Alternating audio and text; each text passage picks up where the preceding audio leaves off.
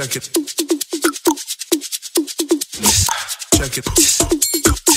Screen Point, Expendables 4. Talking points from this film is that Megan Fox still can't act for crap. Terrible actress, absolutely terrible. But you know what? Overall, the film had the action that it needed. It was an action-packed film, and that's what you got from this film. Action-packed indeed. Do you know what I mean? All the fire flames, exploding cars, all of that had that in abundance. And that's the good thing about the typical action film that you want in an action film. So they had that. Probably wonder where I am. I'm in the car park right now, but you know, I thought it's a safe space, quiet here, so let's just get this thing done here. Do you know what I mean? But you know, they gave us the teaser of a potential showdown between two martial arts greats, which didn't unfortunately happen.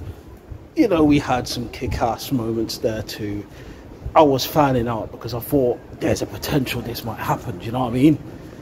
Iko Uwais, you know what I mean, against Tony Jaa. But no, it didn't happen. But you know what? It still was a good film. You know what I mean? They gave us the teaser. Still was a decent film overall the action was there as I said Megan Fox sucked apart from that everybody else did their job the plot standard substantial plot as you get from an action film and everything. So overall have to look at it and give it a 8.4 8.4 for Expendables 4 don't think it was better than the first film probably even the second one but you know what? 8.4 so from me to an expert point I'm out. Check it. Check it.